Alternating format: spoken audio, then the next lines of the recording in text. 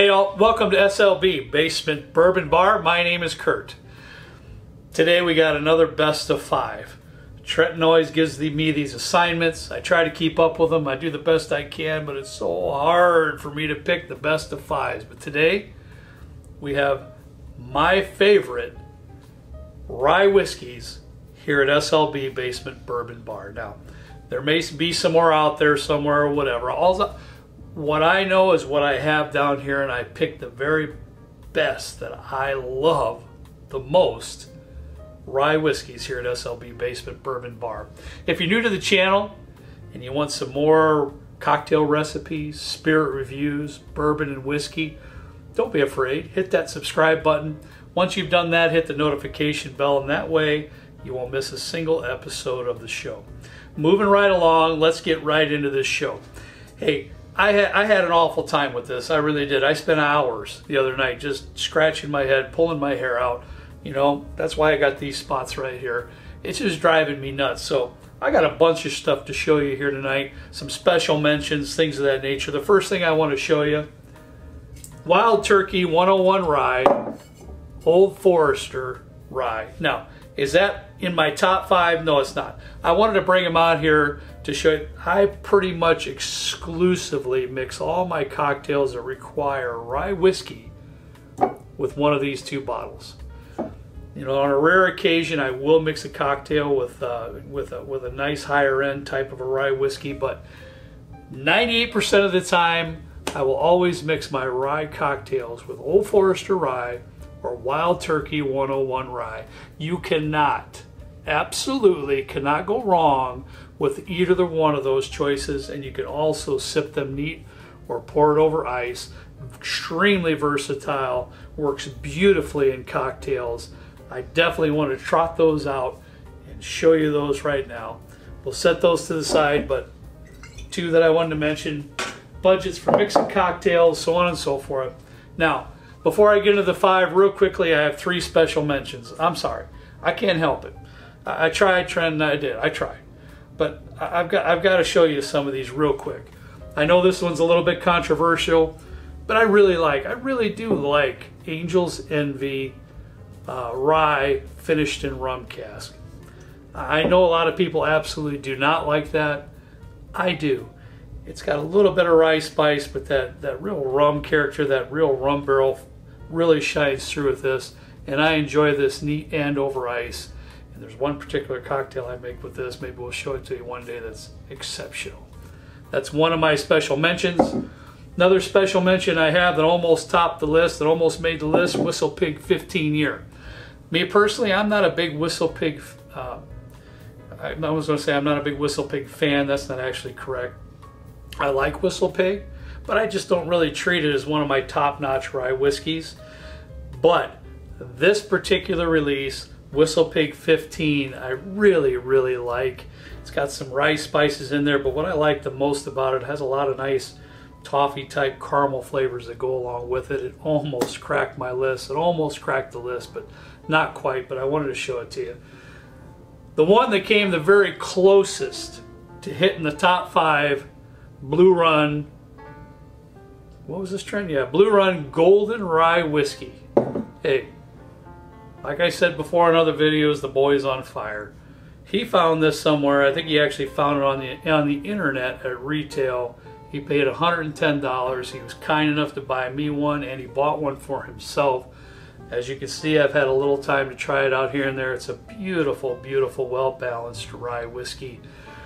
I so badly wanted to put it in my top five, but I just, I just couldn't do it. It, it came that close, that close, but I just couldn't do it if you ever see this Blue Run Golden Rye Whiskey anywhere for about a hundred bucks, do yourself a favor and pick it up. You won't be disappoint, disappointed. It is exceptional. All right, moving right along. We'll get into the meat potatoes of the show. We're going to get these other bottles out of the way, but I couldn't help myself. I had to do that. Now, what I have planned for you, Trenton told me I had to, I had to rank them from, from one to five. I told him at the beginning we're going to record here. I says, man, I can't make up my mind. He goes, you got to do it. So he's the boss. What can I say? So I'm going to move him in front of you from my fifth favorite all the way to the first, and that's how we're going to That's how we're going to introduce them to you here today. So, fifth on my list, an exceptional rye whiskey we have here at the bar, Pikesville. Pikesville Straight Rye is a phenomenal rye whiskey, especially for the price. It's 110 proof and it, you really should be able to buy this somewhere for around, pardon me, for around $40, give or take. Unfortunately, I have had some comments where people just absolutely can't find this, and truly, I, I, I, I get sad about things like that because I want all of our all of our family at SLB here to enjoy these particular bourbons and whiskeys, and today these ryes. And I wish everybody could find it, but hopefully most of you can. Um, this particular, it's a very elegant rye. It, it, it, has some creamy sweetness, a little bit of cereal, and a little bit of dark chocolate on the back end too for $40, it's probably the most amazing rye whiskey I've ever had for that particular price. And today it comes in fifth on my list. Coming in number four. Coming in number four, I've got Willet four-year rye. This particular rye whiskey is also 110 proof. If you get it at retail, and trust me, you should be able to find it at retail, you're going to pay roughly around $65 for this bottle in my opinion, that's that's a, a really good deal for this particular bottle. Uh, this particular rye whiskey, in my opinion, is straightforward. It's in your face. It's got a little rye cereal to it, also a little chocolate. Um, it's just it's just a right when I particularly like it over ice. This is my absolute favorite rye whiskey to mix my Manhattan cocktails.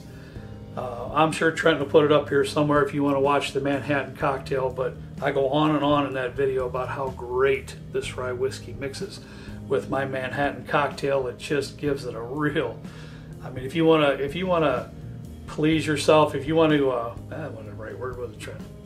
That. Cut that, cut that, Trent.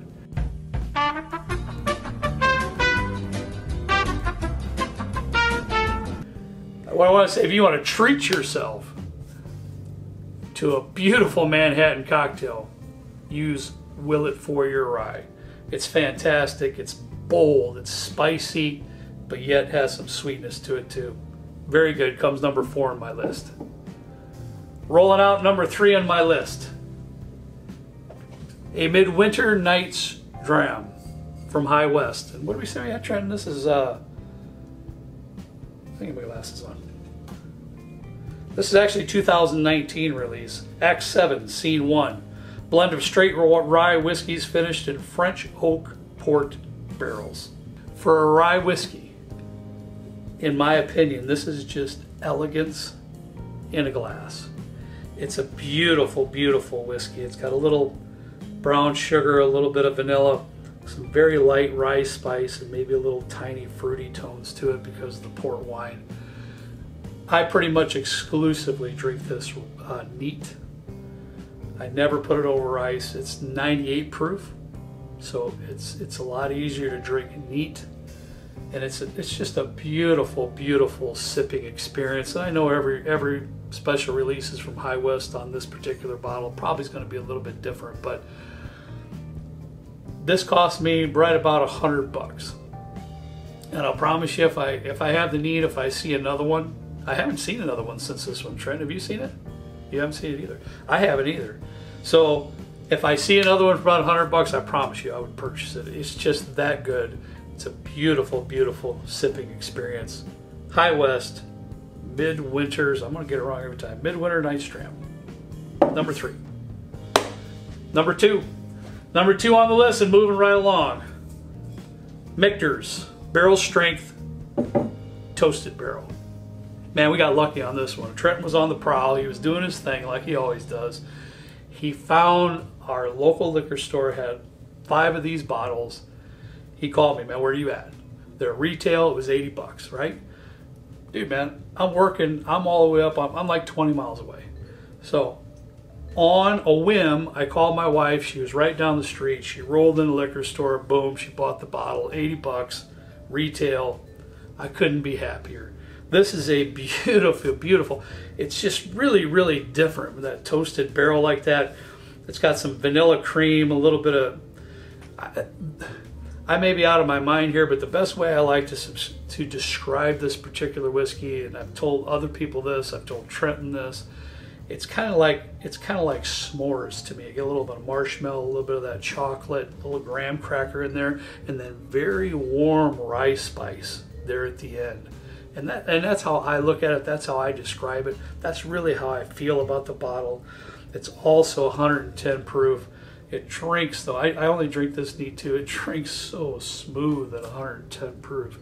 Beautiful, beautiful, beautiful rye whiskey. If you have a chance to pick it up at retail, do not hesitate. Last but not least, I know we're getting a little repetitive here, but uh, you know, what can I say? Jack Daniels barrel single barrel barrel proof special release bottle. Let's hope and pray that they have some more coming out. That just has it all. I mean, it just really does. You can drink it neat if, if you're if you're man enough. It's 130 proof. I do at times. I put it on ice at times. I drink it neat because the flavors are just ridiculously good, and it's so viscous and the and creamy, and the mouthfeel on this particular whiskey is just dynamite and second to none. A lot of that that maple flavor and some burnt sugar in there. It's just got a real sweet, but sweetness to it, but then a real rye punch also. It's just a phenomenal drinking experience. I can't say more about it. I had to put it at number one. Jack Daniels, single barrel barrel proof. So just in recap from five to one, Pikesville Rye, amazing rye whiskey for 40 bucks. Willet, very bold in your face, $65. Midwinter's Night Dram, if you could pick it up for 100 bucks, I would in New York second. A beautiful, elegant, very well balanced drinking experience there. Michter's uh, barrel proof toasted rye, fabulous, fabulous flavors. I promise you won't find in any other rye whiskey. If you're fortunate enough to get it, retails around 80 bucks. Scarf it up. First on the list has been for some time, and it still is. Jack Daniels, barrel proof single barrel barrel proof rye. Hey, that's all I have for you today. Thanks so much for watching. I had a great time putting this together. I mean, I, I sincerely labored over this for a number of hours, but hopefully you enjoyed it. I thank you so much again for watching. As always, we ask you to please drink responsibly, and we'll see you next time right down here with me in a good old basement bourbon bar. See you later.